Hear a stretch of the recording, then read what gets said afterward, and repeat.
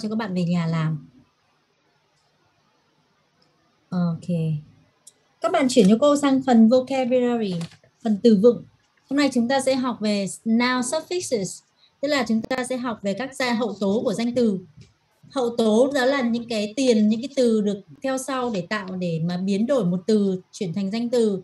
Thì các cái hậu tố suffixes, các cái hậu tố của danh từ mà chúng ta hay nhìn thấy đó là đuôi -ation, đuôi ology, đuôi IT, đuôi mình, đuôi ISM và đuôi IST. Thế bây giờ các bạn nhìn cho cô, for example, chúng ta nhìn một số ví dụ này. Thứ nhất, the first one chúng ta có a B. a B thì nó sẽ đuôi với suffixation là à, nó sẽ đi với uh, suffixes nó sẽ đưa đi với cái hậu tố nào để chuyển chuyển thành một danh từ thì các bạn lưu ý cho cô là chúng ta thứ nhất là chúng ta có từ ability ability chính là khả năng ability. Bây giờ chúng ta đặt một câu có danh từ ability. À, ví dụ như nói là anh ta có khả năng hát và múa rất là giỏi chẳng hạn. Anh ta có một cái khả năng hát múa rất là giỏi. Thì chúng ta sẽ đặt cái câu đấy như thế nào? Mời một bạn xin mời Việt Hoàng đi. Việt Hoàng.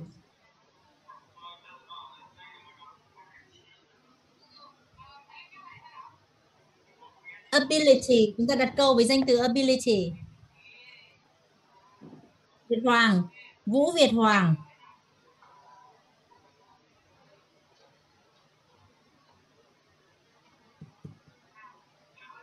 Chắc là cái việc đặt câu này đối với các bạn sẽ mất rất là nhiều thời gian, cho nên là bây giờ chúng ta sẽ làm bài tập này và cái bài tập mà đặt câu với mỗi một cái danh từ chúng ta đã thành lập được trong cái bài tập này, các bạn sẽ làm ở nhà cho cô và các bạn sẽ gửi đến nhóm Zalo nhé.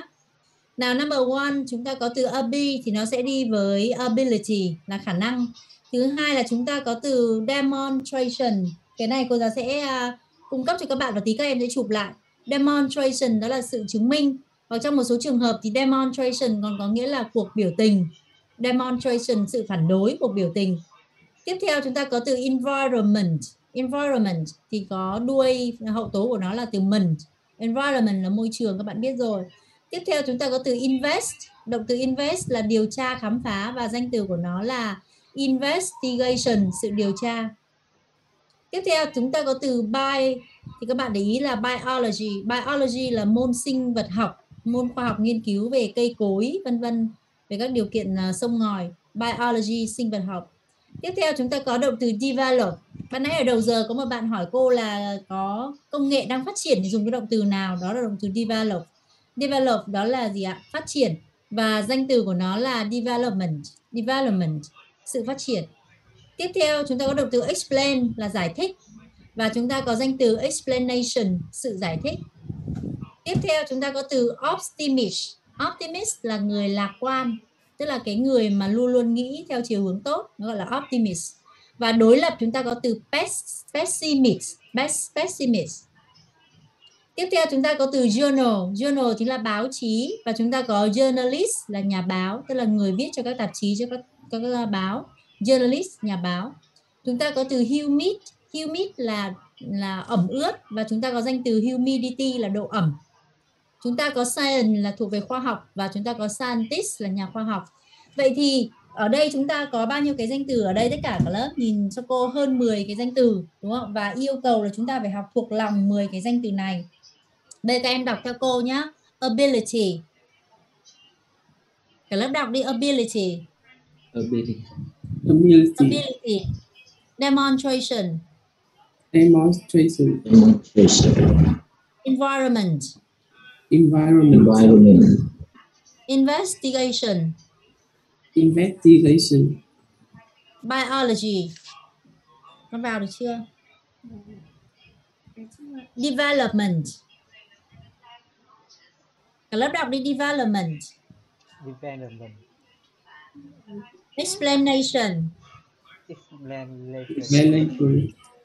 Optimist. Optimist, journalist. Journalist, humidity. Humidity, uh, scientist. Scientist, ok nào về nhà cô yêu cầu các bạn sẽ đặt câu cho tôi với 10 cái danh từ ở đây. Mỗi một danh từ này các em đặt một câu có chứa cái danh từ đó và các bạn yêu cầu là gửi lên nhóm lớp cho cô nhé tất cả các bạn. Bài tập về nhà là đặt câu với 10 cái danh từ tìm được. Ok? Bây giờ chúng ta chuyển cho cô sang phần tiếp theo là nội dung là liên quan đến thì uh, grammar tức là uh, thì tương lai. Con bật mẹ cái điện lên.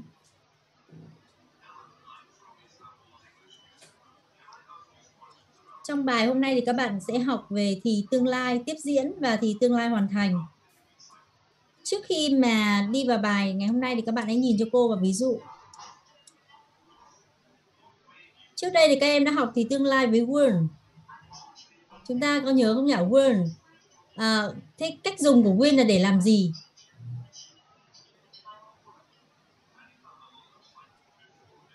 When có nghĩa là miêu tả một cái thì tương lai gần. Ok và ừ, cách thứ hai là người ta có thể dùng word để miêu tả các cái dự đoán cho tương lai. Ví dụ như là, I I'll be rich one day. Một ngày nào đó thì tôi sẽ trở nên giàu giàu có. Thì cái việc I will be rich hay là I'll I'll be rich one day này là một cái dự báo cho tương lai. Thế nhưng mà cái dự báo này chắc chắn có xảy ra không ở cả lớp? Nếu mà chúng ta dùng "will" thì cái dự báo này có khả năng xảy ra chắc chắn không? Ừ. một ngày nào đó tôi sẽ giàu có. Thì cái việc giàu có này nó chỉ xác suất thôi 50 50 thôi, nó không có gì là chắc chắn cả. Bởi vì đây là dự báo, hoàn toàn có khả năng xảy ra mà cũng có thể là không xảy ra. Ok, vậy thì won là miêu tả một cái tương lai gần nhưng mà không chắc chắn. Đúng không? Nó khác với một cái thì mà chúng ta đã học dùng để miêu tả thì tương lai. Tôi sẽ làm một cái gì đó mà có cái kế hoạch, có cái dự định ấy chúng ta đã học rồi đó là thì tương lai mà có dự định có kế hoạch được dự trù từ trước thì đó là tương lai với cái gì? Các em nhớ không? Có bạn nào nhớ không? Going to be going to. Đúng rồi chúng ta phải có thì tương lai với be going to. Thì với be going to đấy thì cái hành động đấy nó mới chắc chắn xảy ra vì nó có kế hoạch có dự định. Vậy thì word thứ nhất là được dùng để mô tả một cái là cái dự đoán cho tương lai. Thứ hai là thì tương lai tiếp diễn Thế thì thì tương lai tiếp diễn công thức của nó sẽ là chủ ngữ cộng will be cộng present simple à, cộng với cả verb in hay là present participle. Tức là miêu tả một hành động sẽ xảy ra sẽ xảy ra tại một thời điểm nào đó trong tương lai một hành động đang diễn ra tại một thời điểm nào đó trong tương lai. Các bạn nhìn cho cô này. Ví dụ this time next week. This time next week. Bây giờ là mấy giờ? This time next week.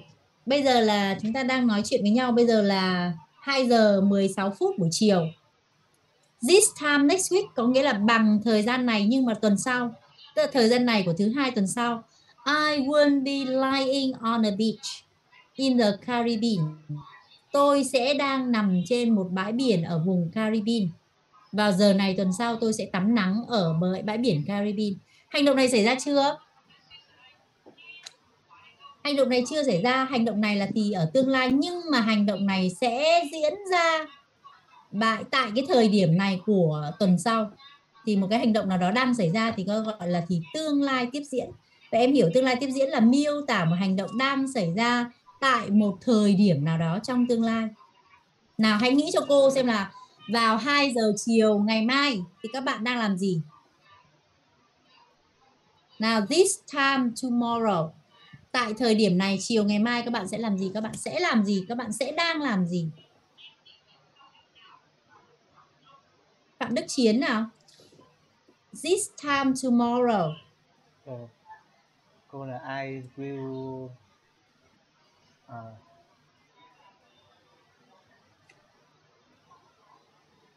tiếng this time tomorrow.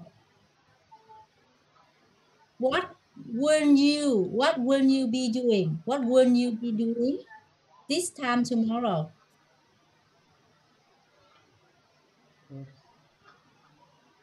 Hai giờ chiều mai em chưa tại thời điểm này ngày mai em làm gì?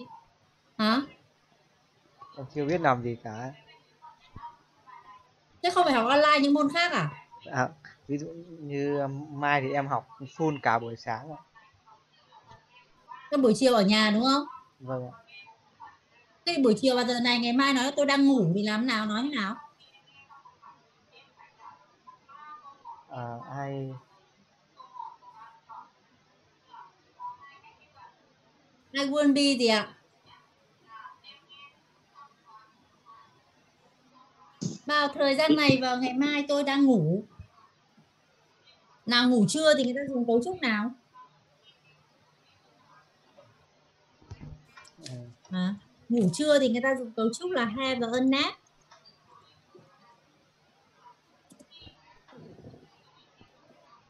cái này em chưa biết bây giờ nói Quên. là ngày mai và thời gian này ngày mai tôi đang ngủ trưa nói là gì?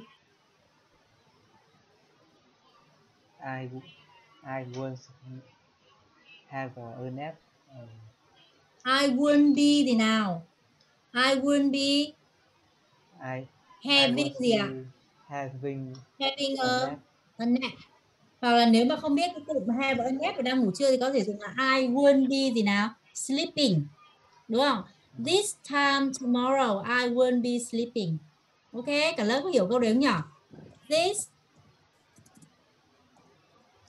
this time tomorrow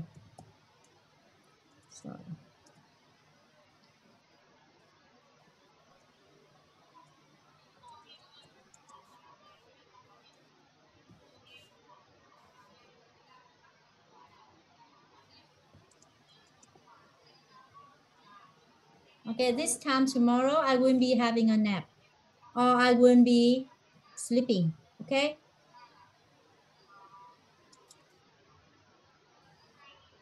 Cấu trúc thành lập câu các bạn để ý là chủ ngữ cộng will be cộng verb in nhé, Chủ ngữ cộng will be cộng verb in. Thì tương lai hoàn thành, riêng thì tương lai hoàn thành thì lại khác với thì tương lai tiếp diễn. Là tương lai hoàn thành dùng để dự đoán một sự việc xảy ra trước một thời điểm trong tương lai dùng để dự đoán một sự việc xảy ra trước một thời điểm trong tương lai, ví dụ.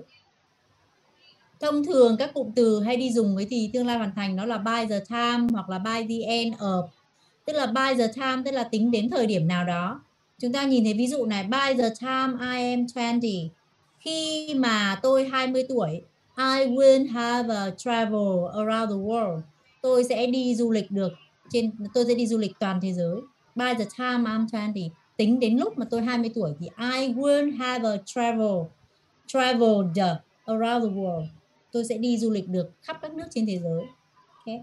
vậy thì tại cái thời điểm mà tôi 20 tuổi này này, là tôi đã đi du lịch được tất cả các nước trên thế giới rồi. Cái hành động đi du lịch này đã được hoàn tất tại cái trước một cái thời điểm nào đó trong tương lai. Okay. còn tại thời điểm mà, tại thời điểm hiện tại thì cái nhà, cái người mà phát ngôn cái câu này đã đủ 20 tuổi chưa? Hả? Cái người phát ngôn ra cái câu này đã đủ 20 tuổi chưa ạ? Chắc chắn là chưa đúng nhỉ? Ok. Cho nên là tại cái thời điểm khi mà anh ta 20 tuổi tức là tại một cái mốc nào đó trong tương lai ấy, thì một cái hành động nào đó gì ạ sẽ được ờ, hoàn tất, sẽ được hoàn thành trước cái thời điểm đó. Và công thức của nó lại là chủ ngữ cộng will cộng have cộng past participle.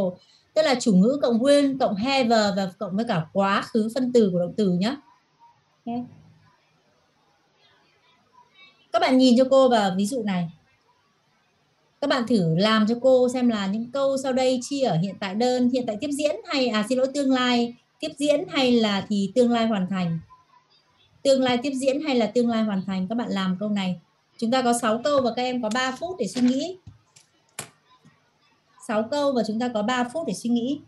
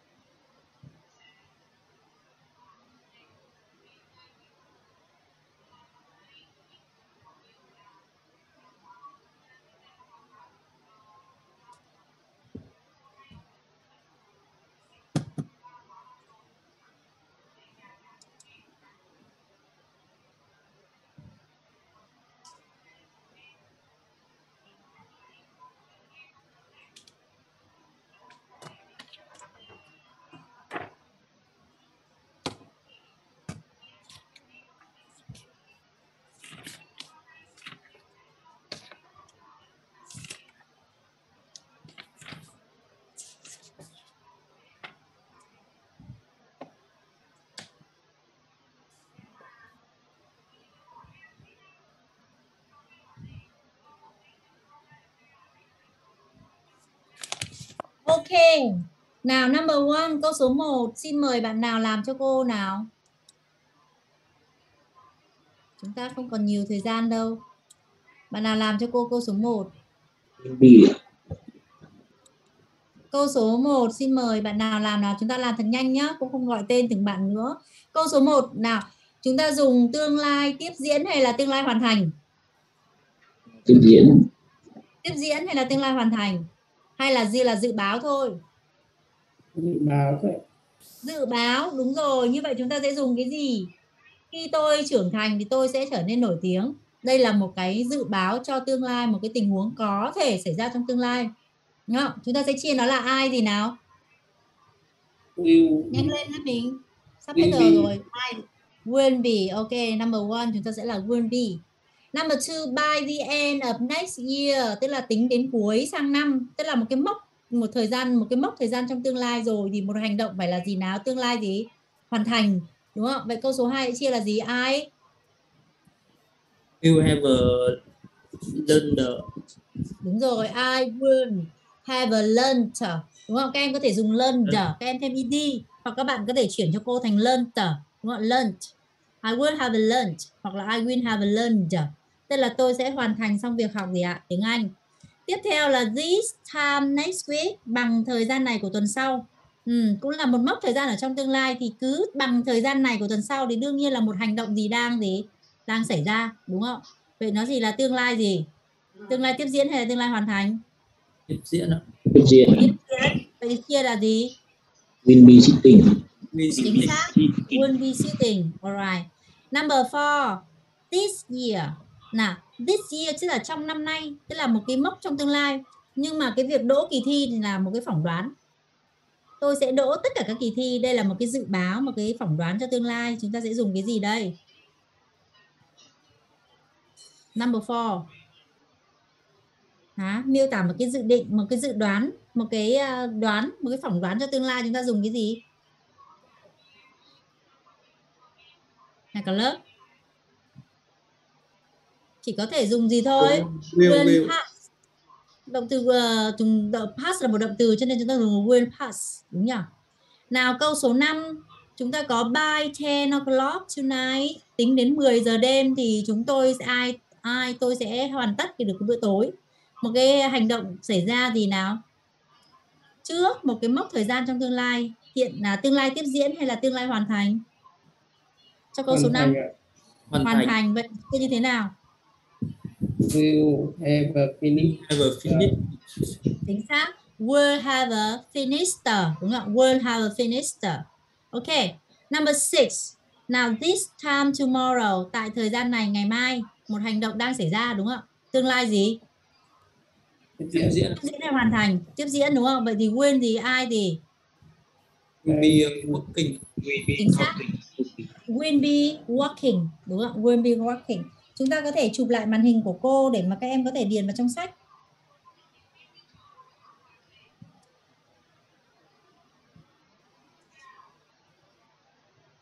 Okay.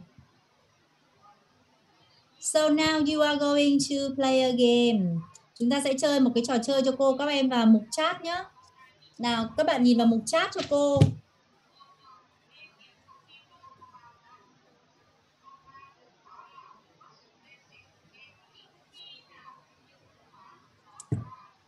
We are talking, we are talking about jobs.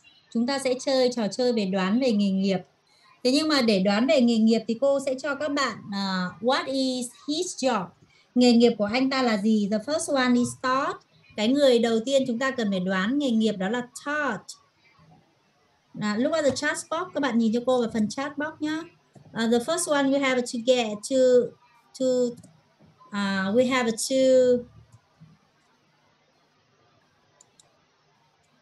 Mm. The Todd is the name of the person. And we have some clue. Chúng ta we have some clues. Chúng ta có một số cái à, gợi ý. Uh, we have a chart. We have a chart. We have uh, too many people. À, okay.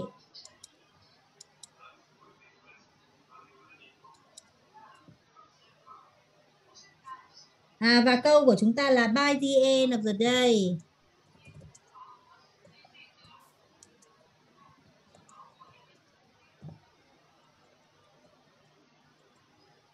Now, can you make sentences? Can you make sentences to describe his job? Bây giờ chúng ta sẽ phải đặt câu để mà miêu tả công việc của anh Todd này. The first one, chúng ta có gợi ý thứ nhất là Todd. Thứ hai, chúng ta có động từ chat. Và thứ ba, chúng ta có cụm từ too many people. Và chúng ta có mở đầu câu bằng by the end of the day. Vậy thì theo các bạn, chúng ta sẽ đặt câu như thế nào đầy đủ về cái à, cái cái gợi ý đầu tiên cho công việc của anh top này? Bạn nào có thể đặt được câu với câu gợi ý này của cô? The first sentence. Có bạn nào đặt được câu này không? Bạn nào đặt được câu cô sẽ ghi vào mục để mà cho vào điểm chuyên cần cao. By the end of the day thì chắc chắn là câu phải chia ở tương lai gì nào? Tương lai gì cả lớp? Tương lai hoàn thành, đúng không? Vậy tương lai hoàn thành thì chúng ta đặt câu như thế nào cho cái gợi ý đầu tiên về nghề nghiệp của anh Todd này? Bạn nào đặt được câu cho gợi ý đầu tiên này? Todd will have a chat to many people by the end of the day. Chính xác. Todd will have a chatted. Đúng không? Chúng ta thêm ed, chatted to many people. Alright, đấy là gợi ý thứ nhất. Can you get his job? Chúng ta có đoán được à, công việc của anh ta không? Sell Nào, gợi- salesperson là người bán hàng. No, Ừ. không đúng. Chúng ta có gợi ý thứ hai. Chúng ta nhìn cho cô gợi ý thứ hai.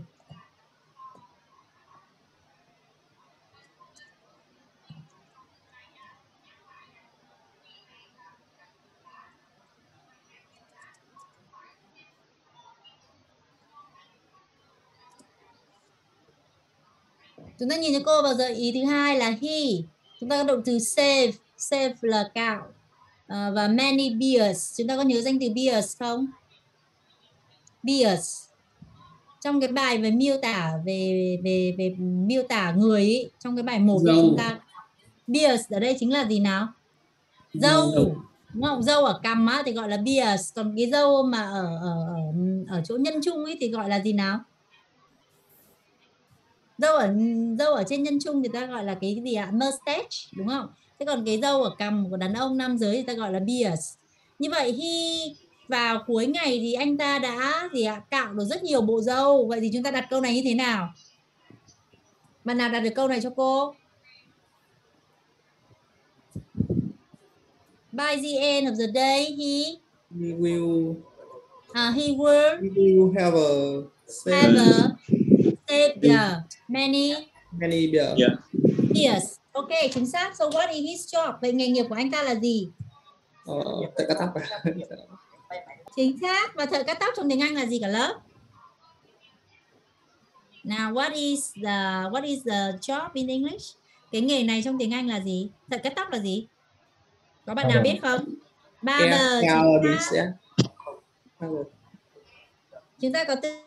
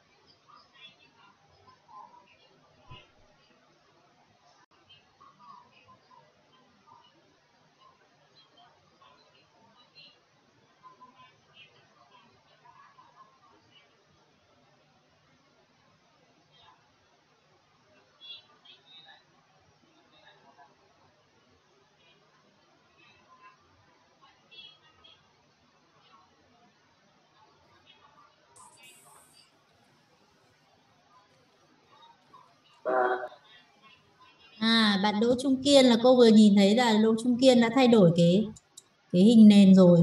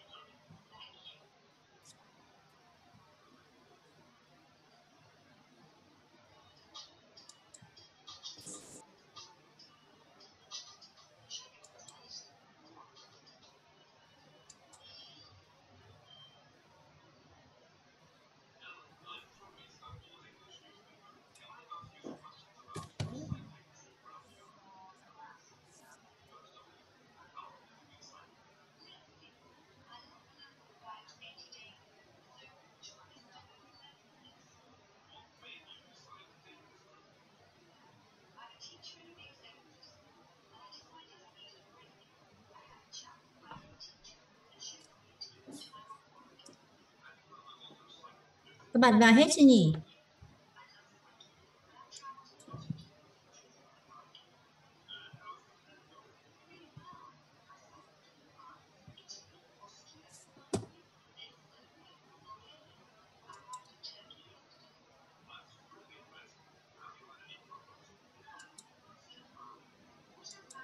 Now, next one. Next one.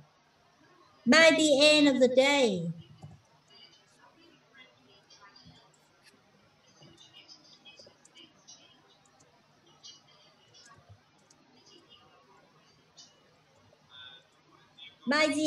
Day, she,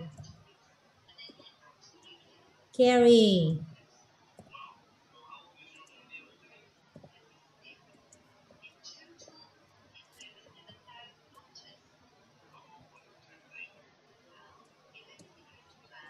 nào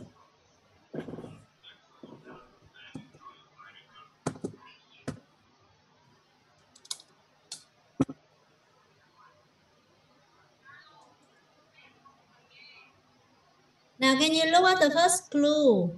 Các bạn nhìn vào gợi ý thứ nhất cho cái nghề thứ hai. She carry many trays. Vậy có ai đây có thể đặt câu cho cô với gợi ý thứ nhất này? Bạn nào?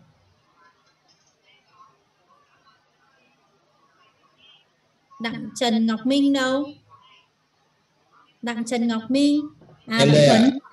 À, Tuấn đây rồi. She will have a carry many trays.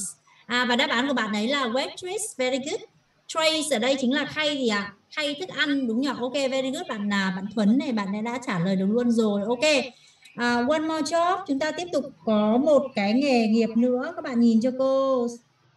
uh, by the end of the day, uh, he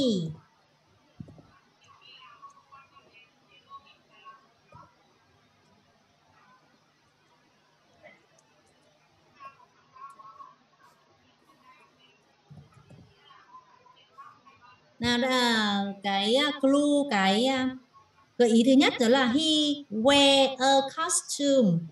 Bạn nào à, bạn nào làm được câu này thì phát biểu cho cô nhé cô muốn các bạn nói chứ cô không muốn các bạn viết. Đương nhiên viết cũng rất là tốt nhưng mà giờ này cô muốn các bạn nói cho cô. Bạn nào có thể à, đặt đặt câu với by the end of the day với những cái gợi ý này. Uh, by the end of the day, uh, he will uh, have a word. Uh, a, will uh, he will have a want one a uh, costume. costume. ở đây chính là bộ trang phục. Có bạn nào đoán được cái nghề này là nghề gì không?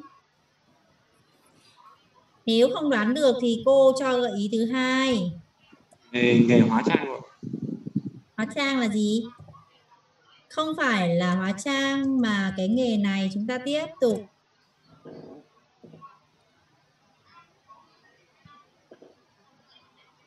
chúng ta có động từ play và chúng ta có danh từ a role. A role ở đây chính là vai diễn.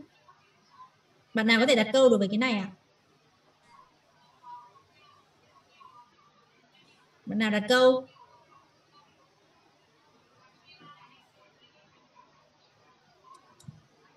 Bạn nào có thể đặt câu với cái gợi ý thứ hai này?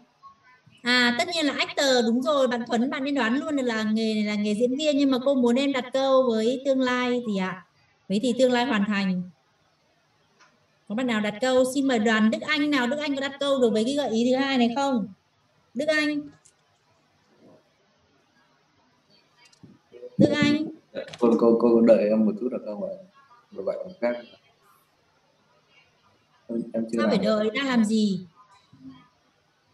trước đây cô mà dạy à, trên à, zoom ấy thì cô yêu cầu tất cả các bạn ấy phải bật bật bật cam.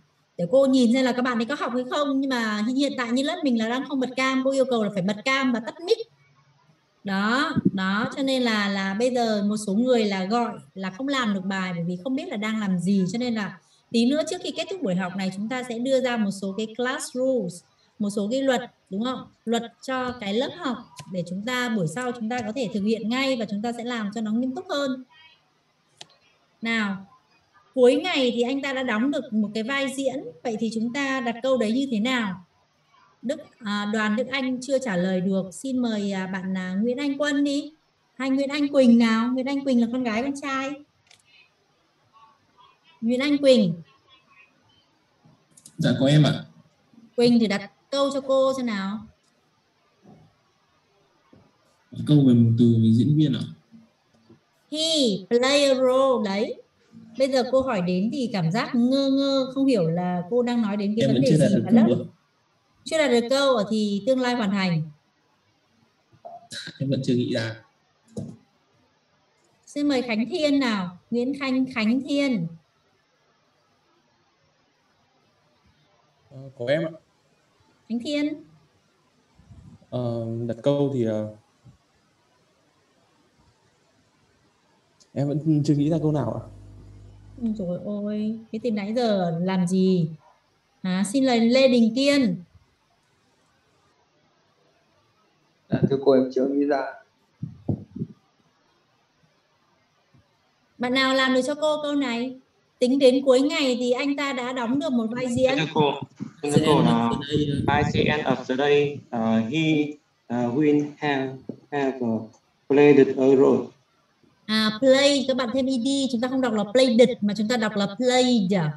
By the end of the day, he will have a played a role. Played a role. Okay. Hello? Ơi, ai nhỉ?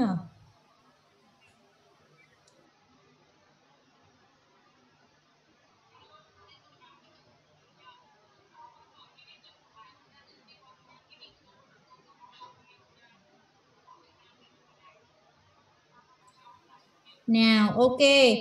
à, như vậy trong cái phần ngữ pháp này các bạn nắm được cho cô. à, chúng ta nắm cho cô thứ nhất là à, có ba cái hiện tượng ngữ pháp mà các bạn cần phải nắm được.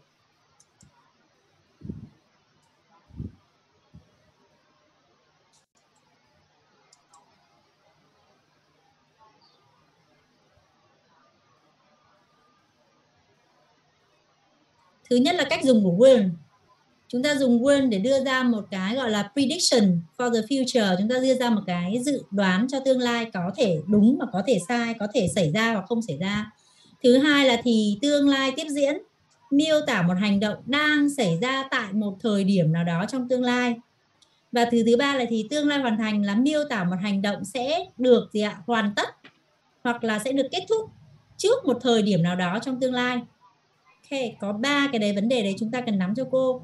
Ngoài ra thì chúng ta cần phải học được cách phân biệt thì tương lai với will và going to như cô nói ban nãy will thì sẽ miêu tả một cái hành động có thể xảy ra mà có thể không.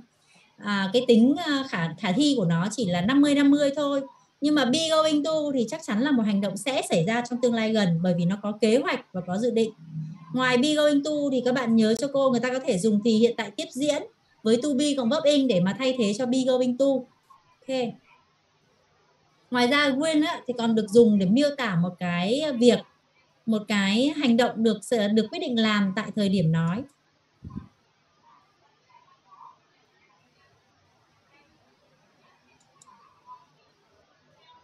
Và phủ định của nó là won't cái công cấu, cấu trúc công thức này thì chúng ta không quan trọng. Thế bây giờ các bạn lưu ý cho cô này người ta nói là will á will là sẽ sẽ, tức là miêu tả một hành động sẽ xảy ra được quyết định làm tại thời điểm nói. Thế cô hỏi các bạn, hôm nay các em đến lớp. Trong lớp thì rất là oi bức, rất là nóng. Mà cửa sổ thì đang đang đóng hết cả cửa sổ thì đang đóng. Vậy thì một bạn trong lớp sẽ nói là tôi sẽ mở cửa sổ. Vậy thì cái việc sẽ mở cửa sổ này thì bạn ấy sẽ dùng will hay là bạn ấy sẽ dùng be going to? Cả lớp Will ạ. Be going to. Going Be to, going be to, going to. will. tôi sẽ đi mở cửa một bạn thấy nóng going quá to. bạn ấy nói là bây giờ tớ sẽ ra mở cửa vậy chúng ta dùng ạ. là going to Well, Will đúng rồi vậy thì will ấy là miêu tả một cái hành động tương lai được quyết định làm tại thời điểm gì ạ tại thời điểm nói đúng không thế nhưng mà be going to thì lại miêu tả một cái hành động tương lai nhưng mà phải có kế hoạch có sự sắp đặt từ trước thế bây giờ ngài nói là ngày mai tớ sẽ tổ chức một cái buổi tiệc sinh nhật thì cái tổ chức tiệc sinh nhật này bạn sẽ dùng will hay là bạn sẽ dùng to Be going to ạ. Đúng rồi, đấy là sự khác nhau giữa will và be going to. Một cái là được quyết định làm tại thời điểm nói, còn một cái là có dự trù, có kế hoạch, có sự sắp đặt từ trước. Ok. và be going to được thay thế bởi thì hiện tại tiếp diễn hai cái thì này có gì ạ có thể dùng thay thế cho nhau. Đó going to được dùng miêu tả kế hoạch tương lai có dự trù gì trước nhá. Đây là công thức. Ok. Vậy thì mấu chốt của cái bài hiện là của cái bài này là bài nó sẽ liên quan đến à, thì thì hiện tại à, thì tương lai đúng không? Tất cả bài này liên quan đến thì tương lai và bây giờ thì các bạn sẽ làm cho cô cái bài tập này. Tuy nhiên là bây giờ thì không biết là thời gian còn bao lâu nữa nhỉ? Còn hai ba phút nữa hai ba phút à? Nếu mà là hai ba phút thì bây giờ các bạn chụp lại cho cô cái này. Về nhà các bạn làm cho cô cái bài tập mà còn lại của cô ở đây để buổi sau cô chữa cái phần này. Supplementary các em chưa có sách supplementary à? À thôi tối nay cô cô sẽ chụp nhá. Tối nay cô Vâng tối nay cô sẽ chụp cái sách supplementary và cô gửi lên trên nhóm cho các bạn nhé Vâng cho các bạn làm cho cô. Đây là đấy là bài tập thứ nhất bài tập thứ hai là về nghe lại cái bài ngày hôm nay, bởi vì hôm nay nghe cái bài nghe của cô nó có một chút sự cố. Thì à, nó hơi bị lộ cái đáp án bây giờ cô muốn với các bạn về, các bạn nghe. Và thứ ba là các bạn làm cho cô tất cả các bài tập trong workbook, đặt câu cho tôi với 10 cái danh từ mà cô yêu cầu, đúng không? Và đến chiều thứ tư thì cô sẽ kiểm tra tất cả những cái bài tập mà cô đã giao. Làm cho cô bài tập trong workbook, tí nữa cô giáo sẽ nhắn chính xác là bài tập nào ở trong nhóm. Cái thứ hai là bây giờ tất cả các bạn nghe cho cô này cô giảng dạy rất là nghiêm túc. Cô rất là nghiêm khắc cái việc là giờ giấc ra vào của học sinh. Và đương nhiên là vì chúng ta học online, cho nên là chúng ta phải có những cái sự cố về mạng, chúng ta có những sự cố về mic, về vân vân và vân vân, có rất là nhiều các lý do. Tuy nhiên, bao giờ trước buổi học các em cũng phải vào trước giờ học tầm 5 đến 10 phút để các bạn vào lớp. Nếu mà trong trường hợp như ngày hôm nay có những bạn mà sau khi lớp học đến 25 phút rồi bắt đầu mới vào thì nhất định từ buổi sau cô không bao giờ admit tất cả những người đấy cô chỉ admit tất cả những ai mà có mặt sau giờ học 5 phút và kể cả các cái giờ ra chơi cũng vậy các giờ ra chơi các em cũng chỉ được ra chơi và được phép vào muộn sau 5 phút sau 5 phút nhé Thế còn những người mà sau 5 phút mà thấy vào muộn thì ngay lập tức thì người đó sẽ coi như là nghỉ cả cái buổi học hôm đó. Và các bạn nhớ là các bạn chỉ học, các bạn không được nghỉ quá 20% vì nếu học nghỉ quá 20% các bạn sẽ phải học lại và thi lại. Tiếp theo là hôm nay participant của chúng ta là hiện tại bây giờ chúng ta đang có 31 người học. 31 người này bên lớp trưởng đã đến chưa? Lớp trưởng đâu nhỉ? Dạ có em ạ. Em là lớp trưởng đúng không? Em có Vâng nhìn thấy cái màn hình hôm nay các bạn học không? À có các cái danh sách participant này em có nhìn được hết không? Dạ có ạ. Có à? Đây em chụp cho cô cái màn hình này. Em chụp tất cả những cái bạn mà hôm nay tham gia 31 bạn tham gia buổi học ngày hôm nay cho cô. Đấy, bây giờ waiting room là có bạn Khang, bây giờ chúng người ta chuẩn bị đi về rồi thì bắt đầu bạn mới vào. Chụp được chưa hả lớp trưởng? Dạ rồi rồi cô. Rồi chụp rồi tí nữa gửi lên nhóm lớp cho cô để cô biết là hôm nay 31 bạn đi học với là ai nhá. Dạ vâng. Và một điều Em cuối với bạn cùng toàn chung một máy à? sao? Em với bạn toàn chung một máy à? Thế, thế, thế tại sao lại học chung đi làm bài tập có chung được đâu? Thế hai người ở cùng với nhau à? Thế thì bây giờ phải làm nghĩ thế nào để mà học hai người ở hai hai chỗ khác nhau chứ? Hai cái máy khác nhau chứ làm sao một người làm một người ngồi chơi à? hai bọn em cùng phòng với cả là ở đây có một máy thôi ạ Một máy thế nhưng bây giờ hai người làm chung một máy thì làm sao? Tiếp theo một yêu cầu nữa là buổi sau tất cả thay đổi hình nền nhá. Không được để những cái ảnh ảnh gì gì gì gì này tất cả là phải có ảnh của chính bản thân mình chụp ra để cho cô biết được mặt đây là mặt này, bạn này tên là bạn Minh, mặt bạn ấy như thế này để cô nhận dạng nhá. Nhớ chưa? Và từ buổi học lần sau trở đi là tất cả chúng ta tắt mic và bật cam. Tất cả các bạn đều tắt mic và bật cam. Ăn mặc đúng tác phong bởi vì trước đây cô phát hiện ra học sinh của cô có bạn cởi trần để ngồi học. Lớp đồng ý không? Máy của em không có cam á. Vâng ạ không có cam thì tại sao máy lại không có cam? PC là không có cam mà cứ phải máy uh, sách tay mới có cam à? Máy cây nếu mà muốn có cam phải mua thêm ạ. thôi được rồi riêng laptop bản máy laptop của bọn em cũng thế cô thế những người nào không có cam tí nữa lập cho tôi một cái danh sách là những người không có cam gửi vào trong nhóm nhá. Được chưa? Dạ vâng. Thế còn buổi sau là tất cả là bật tắt mic và bật cam bắt đầu từ buổi học tuần sau để cô theo dõi xem các bạn làm gì. Có một số bạn là cứ bỏ là đấy, sau đó là làm việc riêng hoặc là như thế nào đấy sau đến lúc cô hỏi là không biết trả lời. Và đương nhiên những trường hợp mà trả lời tốt, cô thấy lớp mình có bạn Thuấn bạn Thuấn đâu nhỉ Who is Thuấn? Thuấn đâu? Bạn Thuấn là bạn nào? Thuấn là ai nhỉ bạn có vẻ rất là năng nổ trả lời các câu hỏi của cô và làm bài tương đối chính xác. Thuấn là bạn nào? Bạn ấy bảo là bạn ý bị học mic chưa sửa được ạ cô thông cảm ạ. Trời ơi. Thế thì buổi học sau cố gắng nhờ bạn nào bạn ấy giỏi giỏi hay là chỉ cho cách để mà khắc phục nhá. Chúng ta sẽ gặp lại nhau vào chiều ngày thứ tư. Và và và nhớ làm các bài tập cô giao nhá. Ok goodbye for now. See you on Wednesday. Tạm biệt cả lớp nhá. Chào cô ạ. ừ chào cô ạ ừ